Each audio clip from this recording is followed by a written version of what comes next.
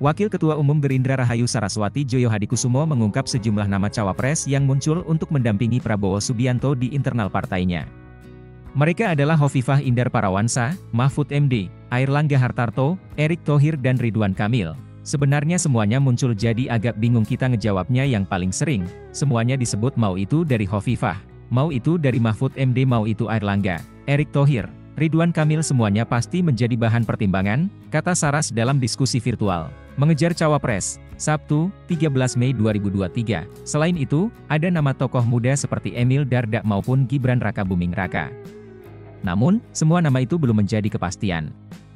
Bahkan yang muda-muda sekalipun seperti Emil Dardak, Mas Gibran itu pun juga jadi bahan pertimbangan, nothing is off the box, nothing is off the table. Itu masih sangat dinamis, ucapnya, Saras pun disinggung soal nama ketum PKB Muhaimin Iskandar atau Cak Imin yang tidak disebut menjadi pertimbangan cawapres. Dia mengaku nama Cak Imin sudah pasti ada. Sebab, Prabowo dan Cak Imin sebagai penentu Capres-Cawapres Koalisi Gerindra PKB, itu juga, Cak Imin, lah itu gak perlu disebutkan tadi disebut mereka berdua yang mengambil keputusan, Prabowo dan Cak Imin. Jadi selain dari nama-nama itu, Cak Imin, katanya.